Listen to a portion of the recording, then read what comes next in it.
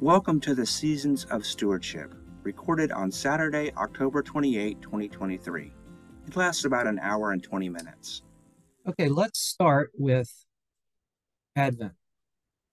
And we start with Advent because that is the start of the Christian calendar. It's that wonderful season of anticipation and preparation and waiting.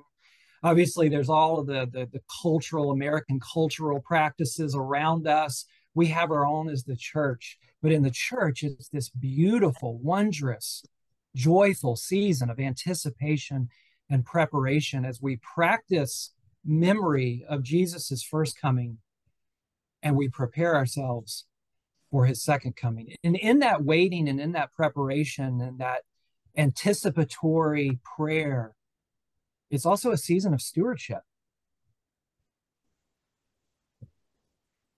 As we go through these various seasons in this webinar, uh, I'm going to take us into each of the seasons, but also make recommendations of how you can teach on stewardship, preach on stewardship, and make invitations for people to share with the church community. And so as we think and and and wonder about preaching and stewardship in Advent, the sermons are about waiting faithfully. The teaching and the preaching is about preparing the way. A new year has just begun. It's not the end of the year in Advent for us as brothers and sisters in Christ. It is the beginning, it is the start. And so, as the, the world around us, the cultures around us are wrapping things up in a crescendo, we are just beginning anew and afresh. And it often makes me wonder in churches as we think about what happens in other nonprofits, there's that famous year end appeal that goes out from universities and hospitals and other nonprofits, parachurch ministries. Will you give at year end? Will you make that final year end gift? And one of the reasons people do it is for tax purposes. But that ask is loud and clear and coming to us from multiple directions. And yet in the church, it's not the year end appeal. It's meant to be the start of the year appeal as we get things going anew, afresh. As we wait for the second coming of Jesus, we don't wait passively, we wait actively. We wait actively with our stewardship. Here's a suggestion if you've never done this before at in December, that time of year when cultures around us are wrapping things up and we're beginning as the church. Instead of asking for a year-end gift, why not ask for that big opening of the year gift? And maybe it's not just an individual gift that we're asking for, but on top of that, we're announcing one big year end, actually, start of the year church gift that we're all going to make together. And the opportunity is to remind the congregants why we exist as a church community, why we are excited to begin another year again as a church, the impact that God is calling us to have on one another's lives and in the lives of the communities around us. Will you give to this big church gift that we're putting together? We faithfully wait with our presence. We faithfully steward our resources with our own presence. I want to share a story with you that I heard about two years ago. AJ, you're familiar with this story. And this uh, this comes from a congregation in North Carolina, Methodist brothers and sisters. Uh, there was a tragic loss in that faith community in the month of December. Very tragic, affected everyone. There was mourning, there was grief, and it's in December, the time of great joy and anticipation. And obviously, everyone was praying for the family and sending notes to the family to encourage them in the wake of this tragic loss. And as you can imagine, as as the weeks went by in December, the family was nowhere to be found. They were behind the scenes, as much of us do when we grieve. They're behind the scenes grieving. It's hard to keep showing up. But on Christmas Eve, on Christmas Eve, this broken family showed up for worship, for the Christmas Eve service. They showed up to meet with the faithful who kept the lights on. One more time. Thank God that building was up and running. Thank God those lights were on that Christmas Eve night. Thank God that the faithful waited faithfully and kept practicing the presence of God and kept showing up. And because they did, there was somewhere for that broken, hurting family to go to on Christmas Eve night and find hope and encouragement. Isn't that a beautiful image of stewardship? As you think about that, every Sunday, showing up again as the leader, as the pastor, as the shepherd, lay leaders faithfully showing up one more time with your gifts, with your presence, whether you feel like it or not, on the good Sundays and the bad Sundays, because you never know who God might draw in to that time with you. It's a reminder we give with our gifts, and we also give with our presence, our faithful presence continuing to show up.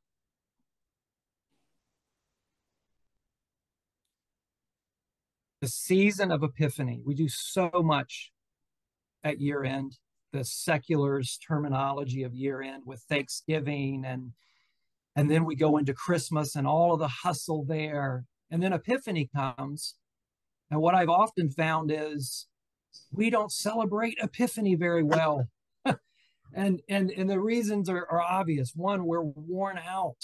We have done so much as a church family in in the fall and in christmas season.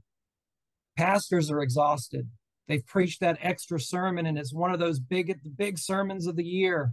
And then we get into epiphany and the riches of epiphany are there for us the rich messages of epiphany are there for us the main one being we're invited to cultivate an awareness of Jesus in the world. He has come. And just as kings brought gifts to him and others brought gifts to him throughout his itinerant ministry, we are called to join in that heritage of faith where we too are invited to bring our own awareness of Jesus in the world. And as pastors and church leaders, our calling is through our preaching, our teaching, our shepherding, our visiting to cultivate that awareness of Jesus in the world. Epiphany is a great time to cast vision in the world that Jesus has come and he's coming. It's also a great time to recast vision in the church. Jesus has come and he is coming. And what are we going to do about that? How are we going to respond to this glorious truth? Christ in us, the hope of glory, he has come. What is your vision this year? Pretend that I'm a visitor in your community, your community of 10 congregants or 100, and I show up on a Sunday morning and, Pastor, do you have five minutes? do you have five minutes? Can I just talk to you? And I, I throw you the softball in that five minute talk. And the softball is tell me your vision. Tell me your vision. I need hope. I need to be a part of something meaningful. I'm searching. What's your vision this year? What is this church all about? Why do you exist? What do you want to do? two weeks ago, I took my boys, my two oldest, uh, first time they've been on uh, in Cameron Indoor on, on the campus at Duke. And we got to go in and walk on the court. First time they've had that experience. And if uh, some of you've probably done that too, but it's just such a sacred place. Let's just be honest if you've experienced this. And uh, just the trophies and the history, and you go on the court and you feel it and you and you just think about all of these incredible games and athletes that have played on this very space that I'm walking on. I can remember big shots that were made here and there and all the wins. And that's what I'm talking about. What is our vision? The Church of Jesus Christ is the most sacred community on the earth.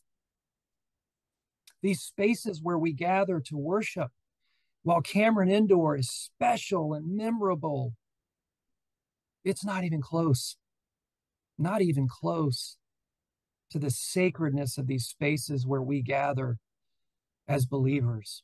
And that's what I'm talking about. Casting that vision. When we left that court that day, did we want to be a part of that tradition at Duke? And and if someone would have walked up to us and asked us, "Do you want to get on on this?" We would have said, "Yes, sign us up." I want to be a part of that team. It's a winning team. Oh my, do we we have something special here as the Church of Jesus Christ. This invitation to carry on the ministry of Jesus in the world, this invitation to trust God that no matter what goes down, God is with us and for us, and nothing will separate us from the love of Christ. That's our vision. What is your vision? So if we you I would ask you that, what would you say to me? And I want to challenge you to be thinking about that in October as we get ready for a new church calendar year, what vision are you going to cast at the end of this year and starting particularly in Epiphany next year? What will be the vision of your congregation? Reminder vision is the change in the world that you want to make, your community wants to make. There's a uh, there's a ministry that global ministry Their vision statement is one of my favorites. It is to see a healthy church within walking distance of everyone in the world. I mean, what what an incredible vision statement to see a healthy church within walking distance of everyone in the world. And that can't be your community's vision statement. But what is the change in the world you want to make next year? What's the impact that you want to have on people's lives? and cast that vision everywhere. Saturate the, the, the congregation's communications with that vision. Preach on that vision. Put that vision in the bulletin for people who are online and participating. Make sure you're casting that vision with them. Write a letter at the beginning of the year and cast that vision to the congregation. And it's not just for one person to cast, this is the vision of the community. Imagine the community casting that vision with one another, reminding each other of that vision at, at the dinner table, at the book study, in the hospital, that vision everywhere. The change in the world we want to make as the resurrection community of Jesus, the impact we want to have on people's lives at the start of the year in Epiphany, develop, delegate, and recruit people. Develop, delegate, and recruit people. We are called to equip the saints. That's the definition of church leadership in the New Testament. We're called to equip the saints. No one person is designed in the body of Christ to exhibit all of the gifts, but Jesus himself is head and he distributes those gifts to the individual parts of our bodies. I've heard it said more than once that the most difficult vocation in the world is that of a pastor. I've seen it up close and personal. And pastors pastors develop, delegate and recruit the body, the bride of Christ. People respond to these direct asks to be involved. In my work with churches and church leaders over the last 20 years, I have seen the impact of these personal invitations. One of my favorites is years ago, working with a church community, they wanted to establish a giving ministry team where it's not just the pastor, but it's a small group of others in the congregation who are thinking and praying and discerning of ways that they could challenge the congregation to give throughout the year, the opportunities for doing that. And I was coaching them as this team was building. And then I met with that team for the first meeting that they had. There were five people on that team, four of whom were under the age of 40. So it's a celebration. We've got a younger generation involved. I asked them one question at the end of the meeting Why in the world did you agree to be on a stewardship ministry team? This was probably not your first choice. There's probably a lot of other ministries you'd rather serve in. And yet you agreed to give your sacred time to this team. Why did you say yes? So I asked all five. Let's go around the room one by one. And four of the five gave the same answer. Listen to this because someone took the time to ask us. Because someone took the time to ask us. They were affirming the value of the personal invitation. Someone took the time to describe this calling to us.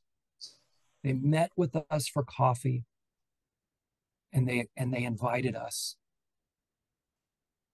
That's almost sacramental if you think about it. what happens in a conversation like that is God's grace inhabits that conversation and and God calls someone into a particular ministry because another brother or sister in Christ met with them and presented that to them. Develop a stewardship benediction for the year. Have you ever developed a stewardship benediction? Think about the services ending on the little Easter Sunday mornings throughout the year. How do you end that time?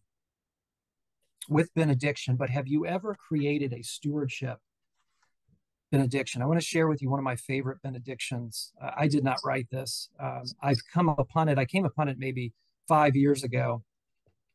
It's not necessarily a stewardship benediction, but when you think about it, it actually is because it has everything to do with us bringing our full selves to service in the kingdom of God. And it's by Richard Halverson a Presbyterian pastor. It's called a Halverson Blessing. And I actually think you'll be blessed to hear this blessing. You go nowhere by accident. Wherever you go, God is sending you. Wherever you are, God has put you there. God has a purpose in your being there. Christ lives in you and has something he wants to do through you where you are. Believe this and go in the grace and love and power of Jesus Christ. Amen. Be inspired by that. By the way, after this uh, webinar, AJ, I'll be sending you some notes that you can distribute out. I'll include that blessing with that reminder uh, to discern the opportunity to craft a stewardship blessing. One for each season that you repeatedly bless the congregation with at the end of every single service.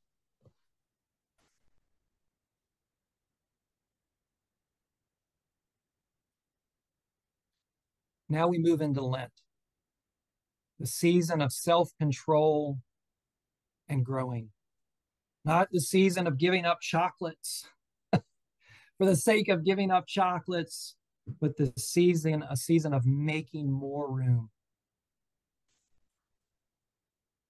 When Paul writes to the church at Galatia, he writes on the fruits of the Spirit. In contrast to the flesh, the works of the flesh, the works of selfishness and greed that don't bring life into the world, but actually take life away from ourselves and from the world. Paul says to keep in step with the Spirit, not in step with the flesh, but in step with the Spirit. Something for us always to be mindful of generosity and self control are both fruits of the same spirit. Okay, the power is in the church for both generosity and self control. Throughout the season of Lent, uh, this says as we are mindful of, of Jesus' temptation in the wilderness and the temptations that he faced, that we too, the saints, congregants, are encountering these same temptations in their lives, these same distractions, the flesh that would keep them away from participating in the body of Christ and, and participating in bringing Christ's life to the world. And so we see Jesus making his way from the temptation to the bab to the to the ministry.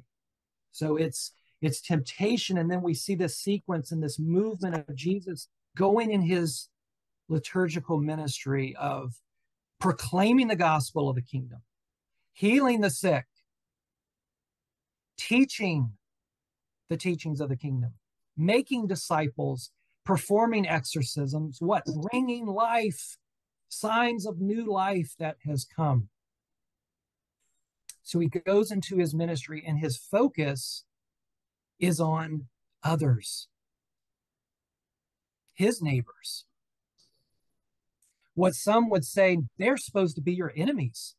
Jesus, what in the world are you doing talking to them, going through their town, inviting them to get on this. Lent is the opportunity to think about the other, to learn about the other, to strengthen our ministries in the direction of the other, our neighbors, leaders, pastors. This is your opportunity to help congregants see neighbor again, see the opportunities for ministries with neighbor. This is what our stewardship, our giving at church, a lot of it is for neighbor. It is meant to be for neighbors, for the poor. We see that in Jesus's ministry. We see that in the in the in the New Testament church. We are called to care for our neighbors and love our neighbors as ourselves and care for the poor among us and care for the poor outside of our walls. It's also a time to grow together as we practice more self control and more generosity. Lent is an excellent time, not just for private reflection, but for community reflection and community development. I've had a couple of uh, communities I've worked with, they've done a stewardship book study during Lent. Let me grab a couple here make reference to these. Uh, this is an excellent book. It's one that you can do over 40 days, written by a fellow Methodist pastor. It's called Practicing Extravagant Generosity by Robert Schnase, uh, Daily Reflections on the Grace of Giving. It's a small book, not very expensive, but it's one that groups can do together. And it's and, and at the end of each very short reading, there are questions for personal and group reflection, and also uh, sections for notes. I really like his writing in this book. I recommend this. Again, it's called Practicing Extravagant Generosity. I'll include this in my notes um, after after the call. Before I go too quickly, I move from uh, Advent. This is another book I highly recommend if you want to do a stewardship book study in the season of Advent by Walter Brueggemann, Presbyterian Old Testament scholar. It's called Celebrating Abundance Devotions for Advent celebrating abundance, devotions for Advent. Two really uh, good resources for you uh, there. In addition to the community gathering and community uh, discussions about stewardship together, educate on the ways the church is helping others, help them see neighbor, but also educate on uh, this is another one of those moments when you drop money into the plate or when you make an electronic gift. Answer that question of where does this go? How is God using this generosity to bless others, to grow his church, to bring life, more life into his church. Let's be honest. People have doubts, people have struggles. Is my gift really making a difference? We have the opportunity to say, Amen. Yes, it is making a difference. And remind the people of God when you give into this pot, Jesus is the host at this table. Jesus is the head of this church. You're not as the pastor, the council is not. It is Jesus that is host and head of this whole thing. And when we give to him, he welcomes that, he breaks that, he distributes that. Narrate that to people. Uh, uh, so, a story here that I was mindful of preparing is there uh, in a in a church on a Sunday morning. Pastor was preaching. He was preaching on stewardship, and uh, he gave a few anecdotes on estate planning in his sermon. He, he he talked about the importance of giving that last gift through your estate plans, through your will, your last will and testament. Are you discerning that? He challenged the congregation. Are you praying about that? Just like any other gift you would make during your lifetime, are you discerning the call on your life for this last commitment and, and what you're to do with it? And uh, the data out there is between, I think it's still between 60 and 70% of households don't have a will. Uh, it's just astounding to me and why it takes time. It's one of those things that takes focus, but it also takes encouragement for someone pointing out this is the meaning and the value of doing this. So this pastor, he caught a vision for this. Well, I'll point to it. I'll help them focus on it because everything's spiritual. This is spiritual too. Well, here's here's the rest of the story. So he he preaches the sermon, he gives these anecdotes, and about a month later, someone who had heard that sermon, I'm assuming it's not a visitor, shared with him as a result of you saying what you said in your sermon that day. We've updated our will. I mean, I look at that. Uh, you know, it, it just reminds us of, and he, what if he had never heard that from from this from this person that they had updated their will? Uh, he would have never known the impact that had. And obviously, there's so much impact you're having through your preaching and faithful teaching and faithful writing. You're never going to hear about it. You're never going to hear about the impact. But I can tell you, after doing this for more than 20 years and having conversations with members of churches and working with them, they want you to keep preaching. They actually want you to teach more on this subject. They need the encouragement, they need the inspiration. And so don't be afraid of that. Here's a different kind of a story that uh, was on my mind as I was prepping for this. And this happened during Advent at a at a church. Uh, this was in Virginia, and the uh, there was a layperson who agreed to share their giving testimony during a Sunday service in Advent. Was generous enough, bold enough, humble enough, willing enough to share their stewardship story with the congregation. Well, after the service, someone comes up to him and chides him for doing that. Someone who had heard that chides him for doing that. And what they said to him was this Can't you lay off during Christmas season?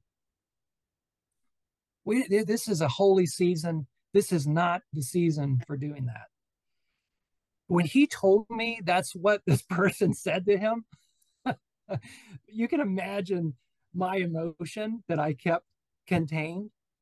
But I thought to myself, talk about an adventure and missing the point. the point of Advent is God so loved the world that God gave. God gave. And this person is offended that we would share that message on a Sunday morning this person would would share their messing about they it was upset that another person was sharing their story of how they participated in the work of God of generosity. My point is, and my point to him was, you keep doing that. You keep doing that. Advent is the season for doing this. Epiphany is the season for doing this. Lent is the season for doing this because we're called every day to carry on the works of Jesus. And Jesus lived a generous life every single day. Calling people to deeper levels of commitment is always right because it's so meaningful what we're about as a church community. In the final analysis, you will run, you will not run the faithful off because you invited them to go deeper and to pray one more time and to give one more time. You will not run the faithful off. You will not run the saints off. The saints are in and they will stay in. And they respond historically over 2,000 years now of church history. Saints have faithfully responded to preaching and teaching and invitations to go deeper. So be encouraged with that and don't be afraid.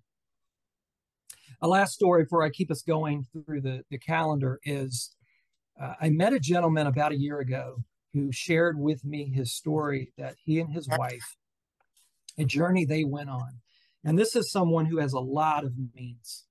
And so this is this is the kind of family that they could write a check for half a million dollars. They've got that kind of wealth.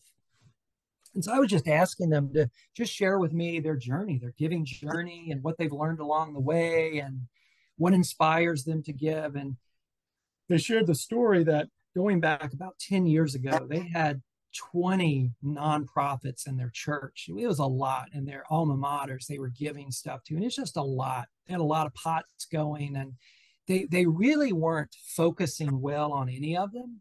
They were just giving but they they they wanted to turn a corner on their generosity path and they wanted to learn more about their church and they wanted to learn more about these nonprofits and their alma maters. What's going on? What's the vision these types of things? So they scheduled interviews with everybody. They went around the horn and contacted these nonprofits and even met with their pastor and asked one question the same question of everybody. And as you can imagine with their alma mater, they had to tweak it just a little bit. The question was this What's your vision from God for this year? What's your vision from um, God this year? Just a very simple question. The, the, the, those hearing the question can can obviously respond in the way they want to, but that was their question. And so they went around the horn and they got all the answers and talked with everyone. And at the end of it, and this is what they're sharing with me now about 10 years later, they said, you know, Sean, of all those conversations we had, there were only two of them that you could tell were ready. and they were sincere. And they shared their heart and their passion for change and transformation. And the others weren't. And they were astounded by that. And as you can imagine, they've started focusing more of their attention on the two that shared the vision and the excitement and the passion. So, reminder keep preaching, keep teaching, keep sharing the vision of the kingdom, keep sharing your vision, keep praying with fellow leaders about what God is calling us to be this year and what can we share.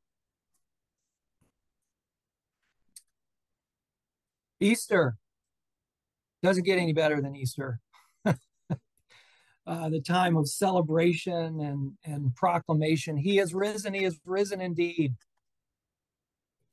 Uh, the disciples get to see him again and be encouraged by him again before his ascensions. New miracles are worked, new teachings.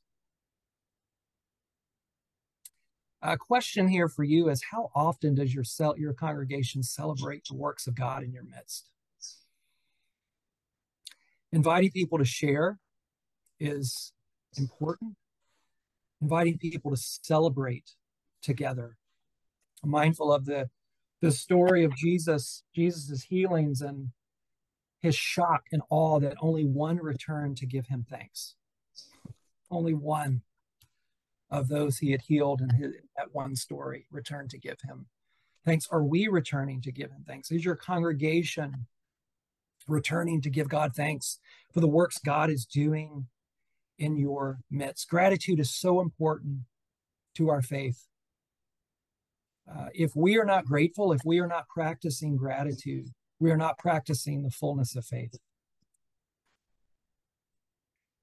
Eat a resurrection meal together in Easter season. Gather the saints together. If not, one big meal, set up multiple meals where everybody can get in on that. This is a great time for, we might call evangelism. for, for telling our neighbors, come and see, come and learn what we're learning. He is risen. What does that mean? Come and find out that someone was raised from the dead. We're celebrating it. He's Lord of all, He's King. Plan that resurrection meal and invite other people to it. Invite gifts during Easter. Oh, wow. We are celebrating a new thing of Christ risen, Christ risen indeed. Invite people to share their gifts to the work of the risen Lord. I'm helping a church right now plan out a capital campaign. And their asking period is going to be right after Easter on purpose. We're doing it right after Easter for them because they believe that is the right time in the church calendar. Do a big ask for this. He is risen. He is risen indeed. We have we have put our hope in him. We put our trust in him. We put our faith in him. We put our gifts into his work. I've worked with other churches on the same kind of model, and it's such a beautiful thing to gather the saints together on the heels of the resurrection, where we remember our Lord overcoming death and celebrate that and celebrate what that means for our lives, what we deem mm-hmm. ordinary lives, ordinary resources that are now on fire because of the resurrection.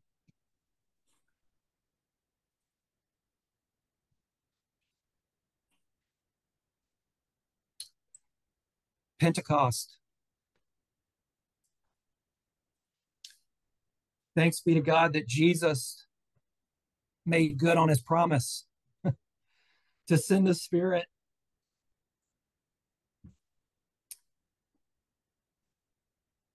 What a special time in the church calendar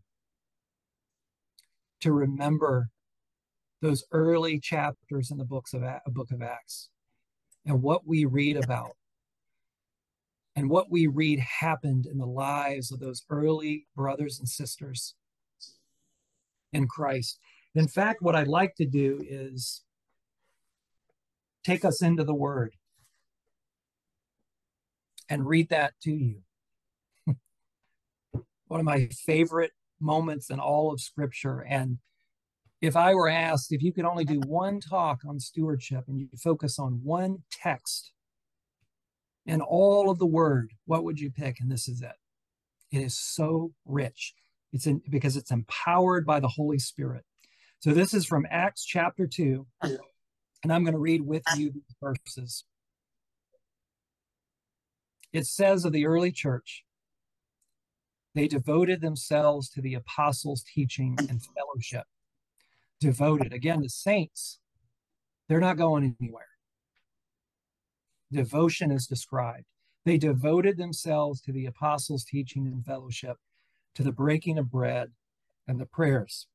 All came upon everyone because many wonders and signs were being done by the apostles. All who believed were together.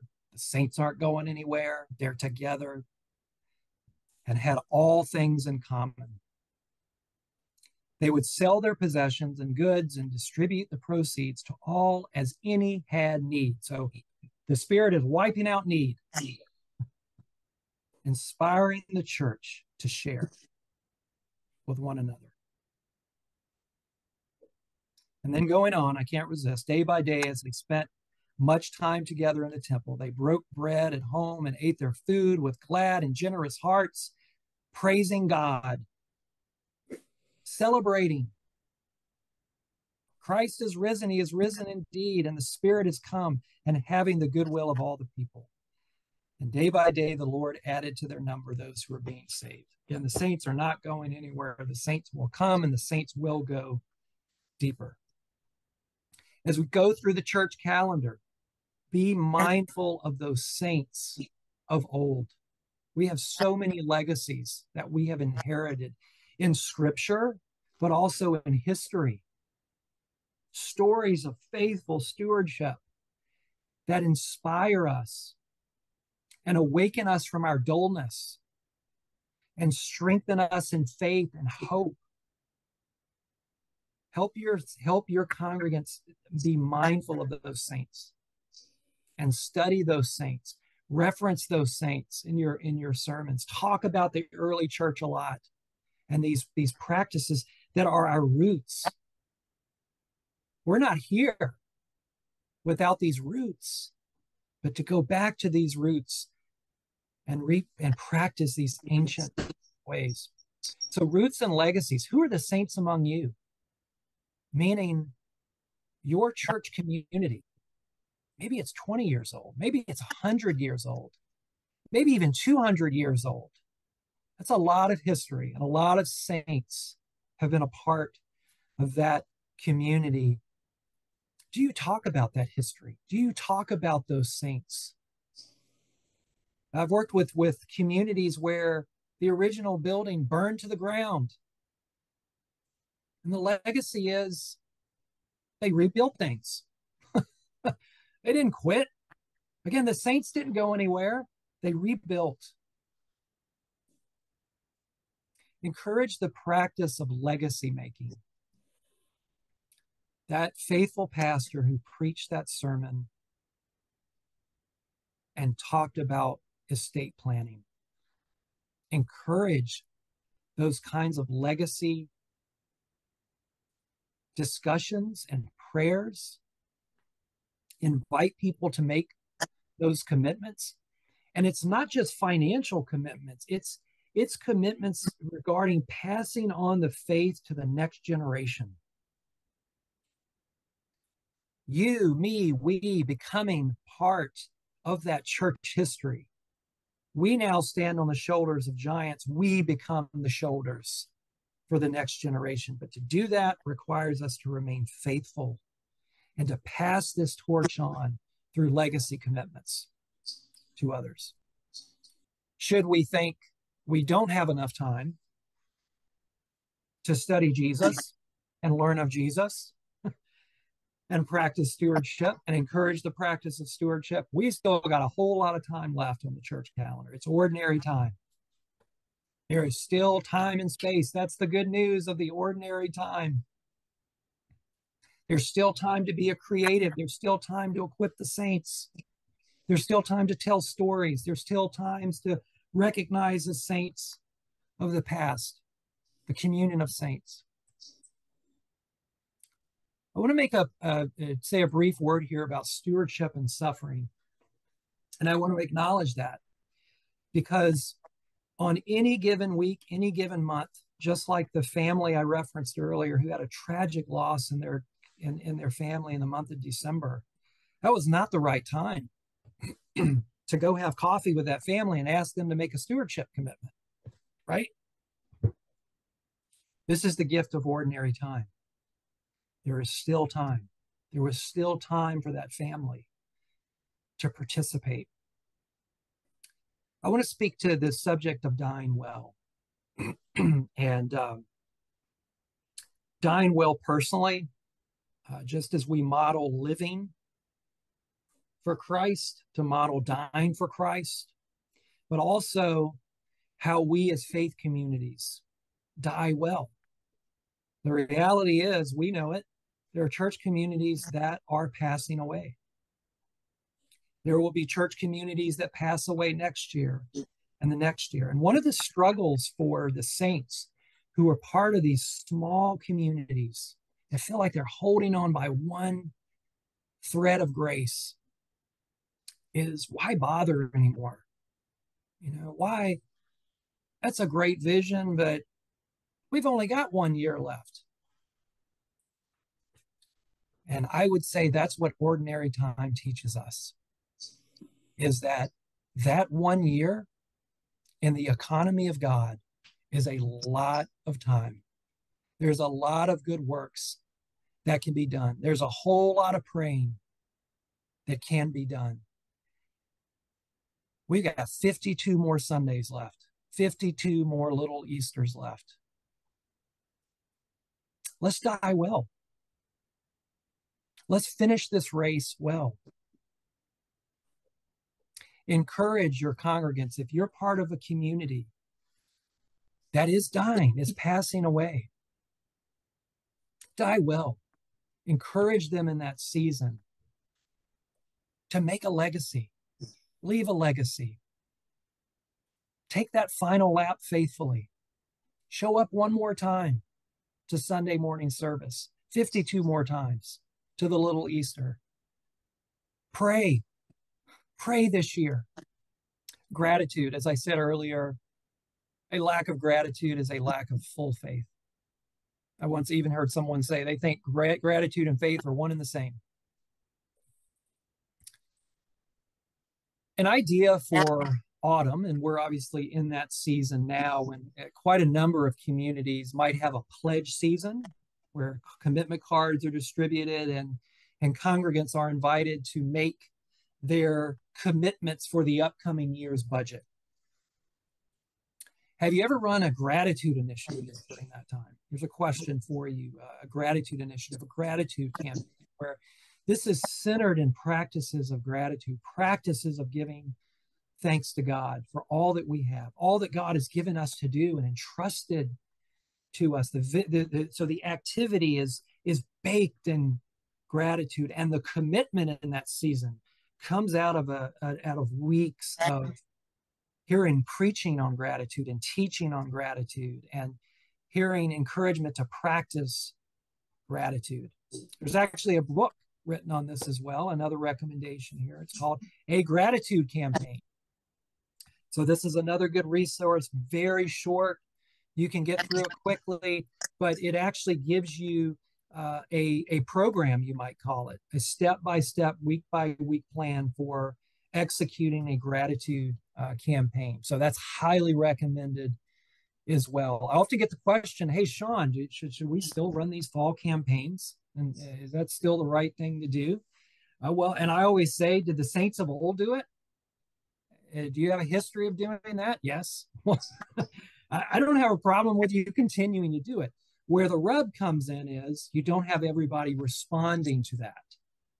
And that's why the year long stewardship approach is going to be so helpful. There's no reason to throw the whole thing out and start something entirely different. Let's look at this as more like we've got pieces here that we need to put together that creates a year long stewardship ministry framed by the liturgical calendar. All Saints Day, one of my favorite days in the life of the church remembering our roots. My mom passed away three years ago, and she is one of my favorite saints. And on All Saints Day, I'm mindful of her, and I'm mindful of the legacy that she passed on to me. I'm mindful of the values that I want to carry on, those spiritual values that I want to carry forward to honor her. If I have an opportunity to make a gift in honor of my mother, I do it. And we all have saints that we admire, and we're carrying on their legacies. So here's a thought, here's an idea if you've never done this invite people to make a gift in honor of someone, a saint in their life. This isn't Catholic saint speech, speech here. We're Protestants, but but we, we are surrounded by these communion of saints that have influenced us through, through time. It's part of our root system and our history. And we carry on these traditions and the riches of the faith that's been given to us. Invite people to make gifts in honor of these saints. And um, uh, maybe uh, do a creative ask. Maybe it's it's it's not just a gift for the church. Maybe it's a gift for the neighbor that you all are trying to accelerate your missions budget Will you consider making a gift in honor of a saint? Your mom, someone in the congregation that's influencing you. Thank God for ordinary time. All right, we're now going to wrap things up. Uh, we've covered a lot of ground in an hour and six minutes. We went through the calendar. I left some other things out. There's no way uh, that we can hit everything on that calendar. I do recommend the liturgical year, the book I mentioned earlier.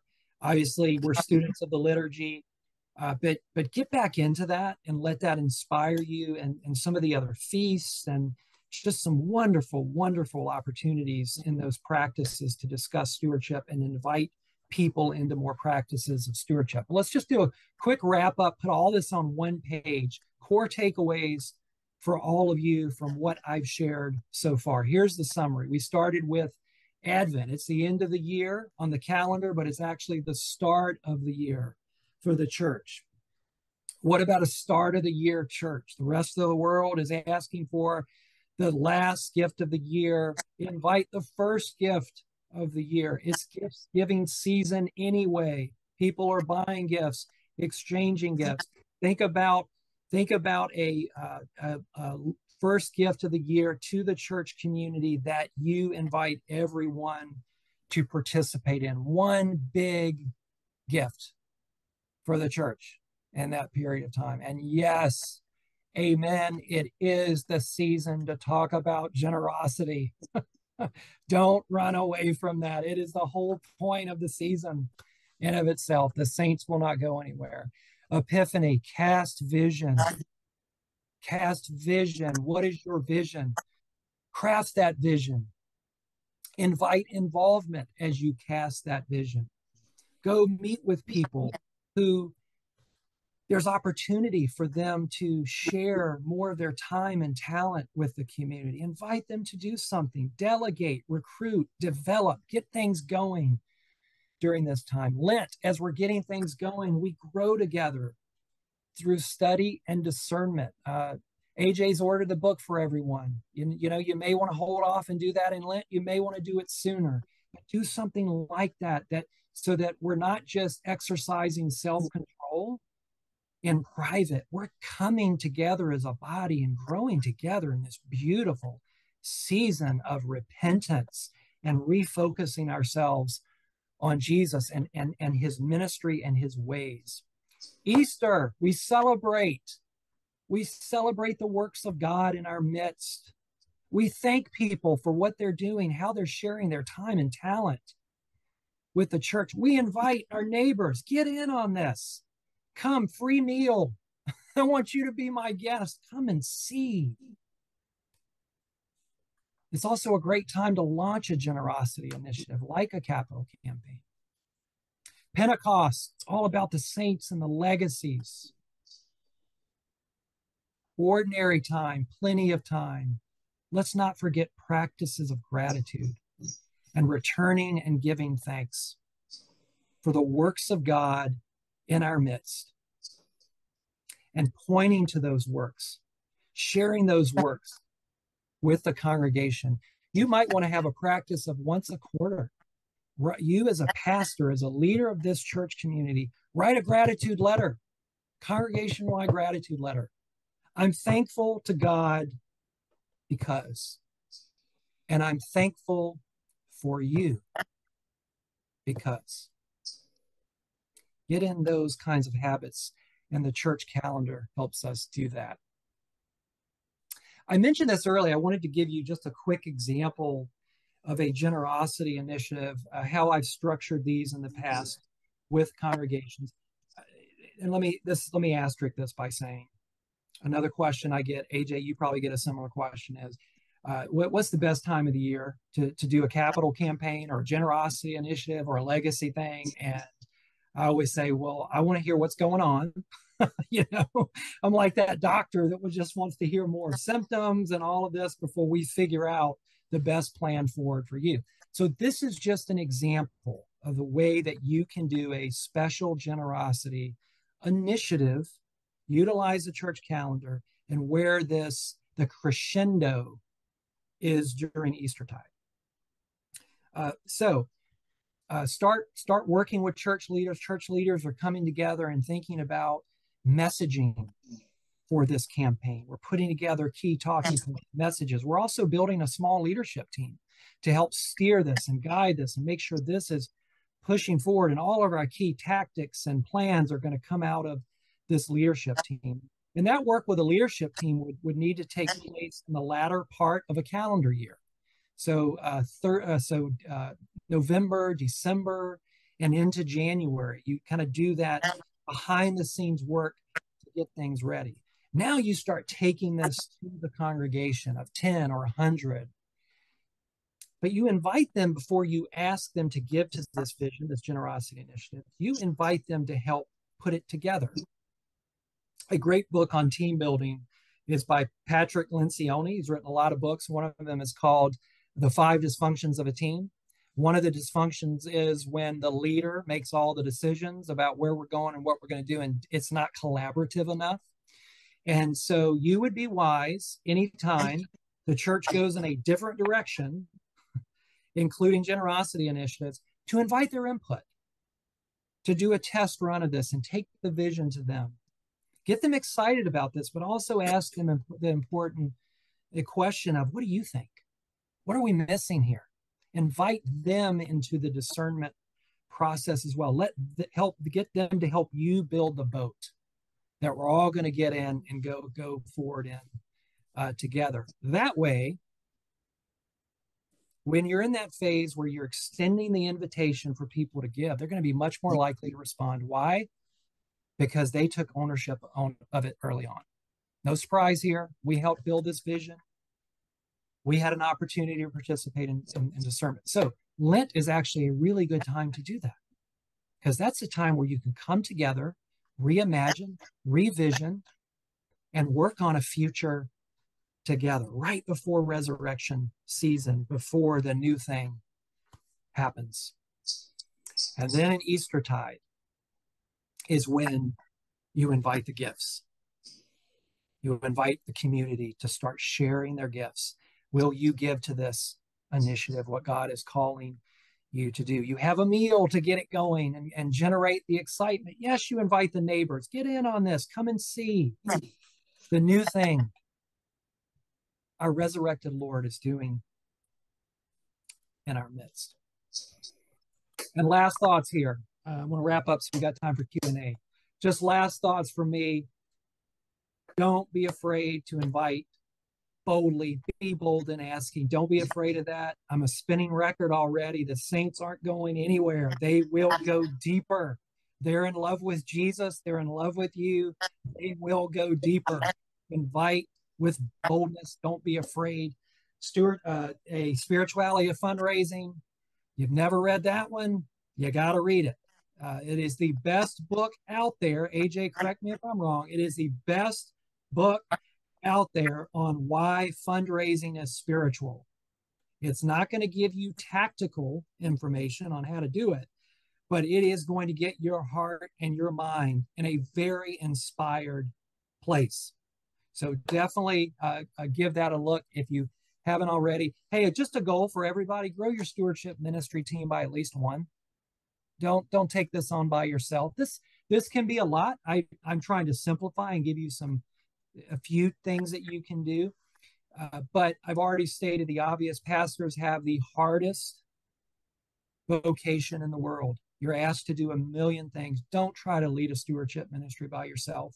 Get at least one lay leader to help you build this thing and focus on this. Develop a calendar. I've shared some ideas with you in our time today, but just sit down as you're as you're mapping things out for next year, cast that vision, and then look at uh, these array of events that happen in the liturgical year and and and plan some activities around stewardship and some exercises and some asks. Uh, remember the obstacles to generosity. It's greed. It's that scarcity mindset. It's fear and it's doubt.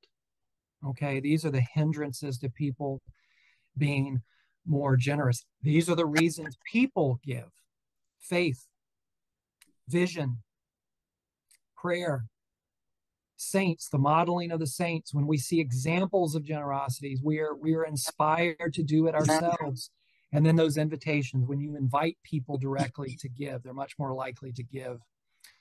Uh, remember that leaders need encouragement and equipping too.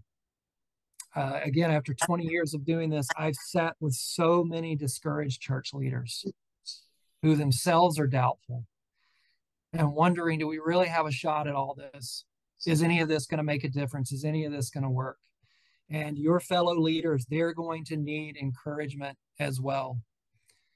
Recruit testimonies. Uh, I, I, shared the story of, of the gentleman who shared his during Advent and got beat up for it.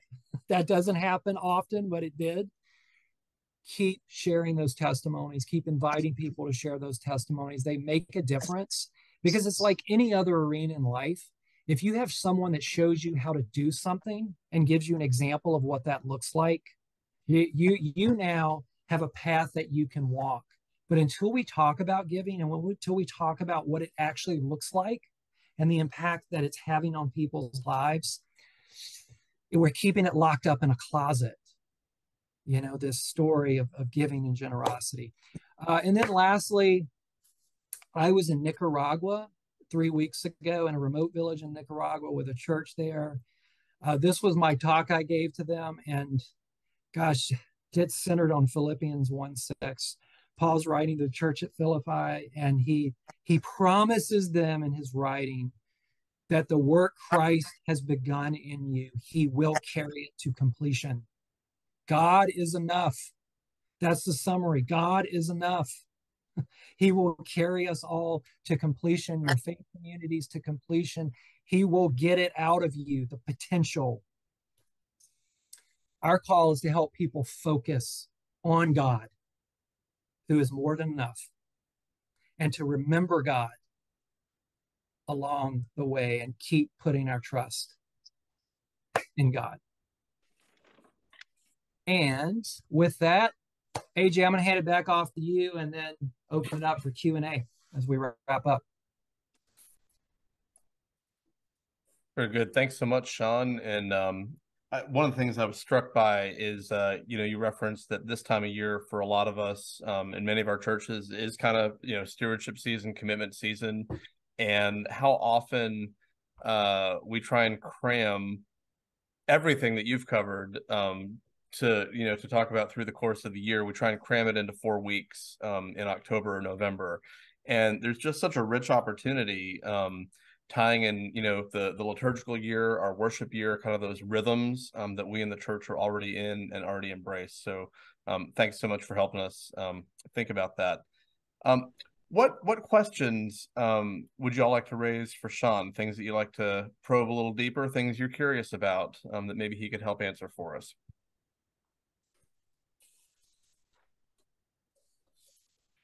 Sean, I'm Jim Sanders. I'm uh, in North Wilkesboro. Uh, so you said something that caught my ear just because I my world is full of to-do lists and we're getting ready to send out our hmm. you know, we we don't say pledge, we say estimate of giving, right? Our estimate of giving cards. But the and there have always been those folks who have uh, historically uh, turned those in and faithfully sort of attended to them, and then the folks who um, don't send those in, uh, but still give faithfully and regularly. You know, people have their own reasons for that, and then you know, people in the in the in the middle. And um, I was recently uh maybe I was in a church, you know, we always look at what other churches have out and about and I saw one of their cards and one of the things on their card was um, I don't is essentially I don't want to turn in an estimate of giving, but I do plan to give faithfully through the year. And so hmm. I'm wondering about about in this modern. I mean, I'm I'm assuming you know more about what's happening kind of across the the culture, and that that's just kind of a thing about not necessarily ditching the campaigns, but that that to have to think about them a little bit. Like you can't build your budget based on just what the campaigns you know it's just not that sort of world anymore how about can you speak for a minute about how to generously both and do you know what i mean like to yeah, sure. invite people to think about whichever as opposed to making the folks who intend to give but don't want to submit a card feeling like they're how do you how do you put them also in the first class cabin. You know what I mean? Yeah, like, yeah, sure. Think about that, yeah. just because uh, that's that that language I think is is kind of new for for uh, for churches to to to honor that kind of giving. Yeah, a couple thoughts come to mind. One is what you just shared. The uh, commitment card itself is is a good opportunity uh, to educate people on and invite people to at least share. We will give throughout the year. We're just not at this time able to make a commitment and to give that option is something that they can check and uh, that way uh, you all can you know have that list and have that total number of households that have made that commitment um, you know what you want to do here is as much as you can uh, keep the messaging streamlined to everybody. Everybody gets the same message you know? So you don't have multiple campaigns going on. Okay because they didn't commit now we got to do something special for them. I think in addition to what you're already doing with the pledge campaign in the fall and including that as you shared that extra line on there, you can do some creative things such as um, in the pews, um, or this can be an email that goes out, or you could have uh, this could be during Sunday announcement. Uh, it could be as you make, so think about this as you make your gifts throughout the year, please remember, and you could just highlight a couple of ways that their giving makes an impact uh, did you know? I'm making something up off the top of my head here. Did you know that in the last month, last month there have been uh, 3,000 steps in our sanctuary? 3,000 steps were taken, you know, and you're reminding them, if you think about it, the people going in and out of here, that is a lot of activity, a lot of movement in this space. It's being utilized, it's necessary even with a small group of people, if you start calculating, imagining steps like that being taken, uh, did you know that we will distribute 500 meals this year to our neighbors? Did you know? And and uh, you know, just educating people, and it could be something as simple as a a bookmark. It could be a card you put in the pew on Sundays for online folks. It could be something that pops up during the service. Did you know as you make your gift throughout the year? This is just a way of making connections both with those who made a pledge and those who didn't. Uh, inspiring them to fulfill it, inspiring them to give, reminding them of the impact your genera- your generosity is having, and also that model gives you the chance to teach and write on uh, why generosity is so meaningful for them as a participant in generosity that uh, this is god's gift to us to be able to be generous. It, we were invited to to give as god gave to participate in the works of, of jesus through giving. So i would so in summary jim i would say definitely what you shared about the pledge card uh, give people a chance who are not able to make a commitment to at least say, I'm in. I'll give what I can, but then also try to treat them all the same with your messaging. Going so forward. it's not not just people who can't, but it's people who prefer not to. Do you know? Do you know what I mean? Sure. Like, yeah. Absolutely.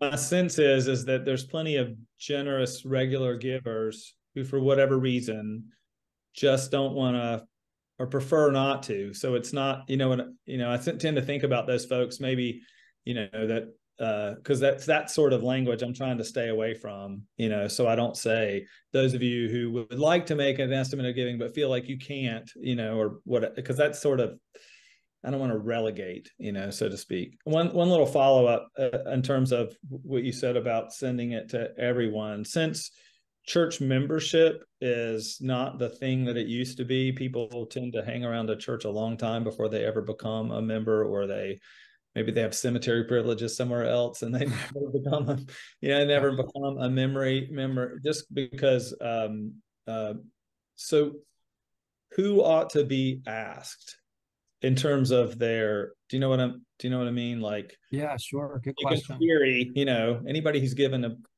anything to the just I made a I tend to think of people who have made an undesignated sort of offering plate gift uh, on some sort of basis is really those are the folks who've said, "Hey, I like this place. I'm I'm going to make an unde, you know, make a make a gift. But can you? I don't know how. How do you how do you how do you decide? Yeah.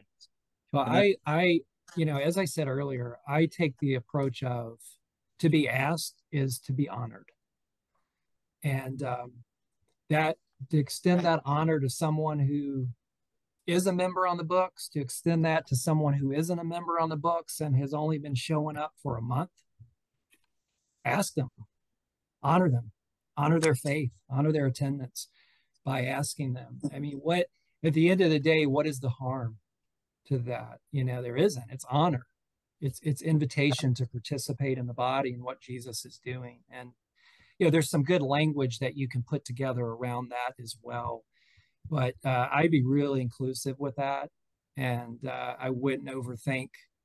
They've only come twice, or you know, they've never served in one of our ministries. I would um, I would just extend that invitation. Be generous in, in asking.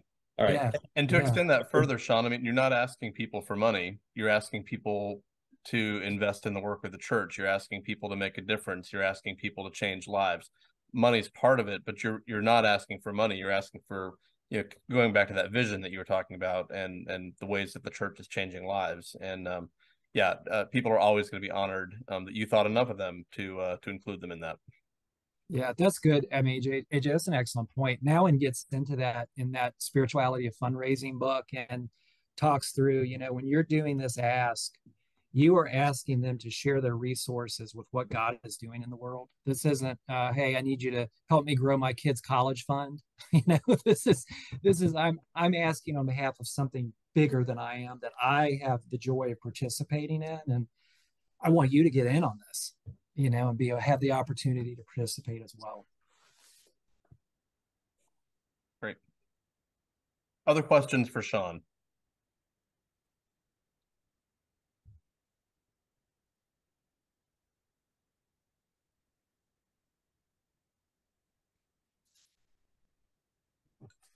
I do not have a question. I simply want to say thank you. This was uh, extremely informative, and I know that our church folks can uh, look at some of the points that you made and, and discuss how best to uh, keep our stewardship campaign from being just a six week campaign. Mm. This was uh, very good. Appreciate it very much. Oh, you're welcome, Rick. Thank you. Sean, just a, a quick word for, um, you know, a, a, lot of our constituency or, you know, maybe in smaller churches and thinking I don't have, um, you mentioned bringing other people in on the efforts, but the, you know they don't have a big marketing budget. They can't produce flashy campaign materials and all that kind of stuff. Um, mm. talk talk to me about the the importance of of those kinds of things versus really the core of what you're asking people to participate in, and you know the importance of materials and mailings and and you know QR codes and all those kinds of things. Oh my gosh, yeah. Uh, I as I think back, I'm 47. So as I think over back over my 47 years and what's touched me and what's moved me and what's inspired me, it's it's flesh and blood. You know, it's I mentioned my mom earlier, uh, a grandparent, a neighbor that surprises me with something, you know. Um, it's not QR codes. It's not it, it's it it's flesh and blood. It's um you know, Jesus didn't have QR codes and all this stuff when he just didn't have a car, you know, and uh, had the power of God, had the Holy Spirit. He um, he took prayer seriously, you know, and so uh, I don't know if I'm getting at the, the answering your question here, AJ, but it's why I lean so heavily. And in this talk, I I mentioned uh, go see people, go recruit people. Um, you may not be able to afford this or that communications model, but you're you're the hands and feet of Christ.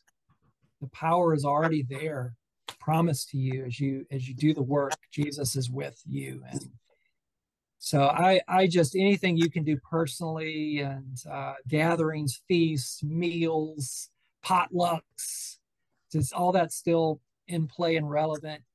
Amen. You bet it is. Uh, so just uh, show up Romans 12, you know, this this passage about where Paul's wrapping up and he gets into hospitality and other things. And the challenge is bring your full self, your full flesh and blood, your full spirit, your full soul into the work of the ministry and invite others to do it. And five loaves, two fish, one boy. And out of that comes this massive feeding of people. Um, hi, Sean. This is Jeanette. I'm at um, uh, Asheboro, and I just was really delighted. I took so many notes, and I think it's going to be extremely helpful. Um, so I just wanted to share share that, and uh, I'm looking forward to our our next meetings and the book. So thank you. Oh, thanks, Jeanette. Maybe next time I, I go to the zoo, I'll come see you. that would be great.